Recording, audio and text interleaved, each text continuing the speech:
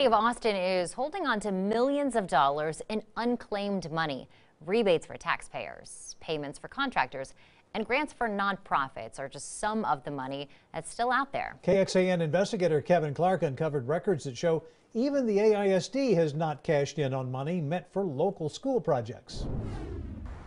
At the end of 2019, the city of Austin held $22 million in unclaimed money. Most of that money were checks that were very recently issued. If they're going into the mail on December 31st, they're not going to be cashed until sometime in January. But City Controller Diana Thomas says some of that money has been sitting there a while, unclaimed for years. Private citizens, especially, are difficult to track. The company may have closed.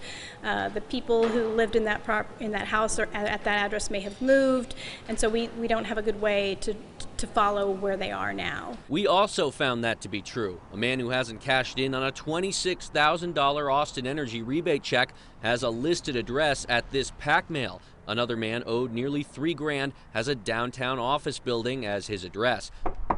Even when we found a home address for someone owed money, it got us nowhere. While some people are hard to track down, a large public entity like the Austin Independent School District shouldn't be. Yet records show AISD hasn't cashed in either. Like money for a fitness program at Govalle Elementary School. Records show AISD never cashed the check from 2016. A Bright Green Future grant for a rainwater project at Wooldridge Elementary. The city says that check from nearly a year ago never cleared. The total, more than $5,800 the district has left on the table. Be aware when, when someone owes you money, whether that's the city or another government or even another entity like your utility company. Despite an all day effort, AISD was never able to answer why it has left the money there. The city says for money that isn't claimed, it tries to contact the payee at least once a year. After three years, it turns that money over to the state of Texas. Kevin Clark, KXAN Investigates.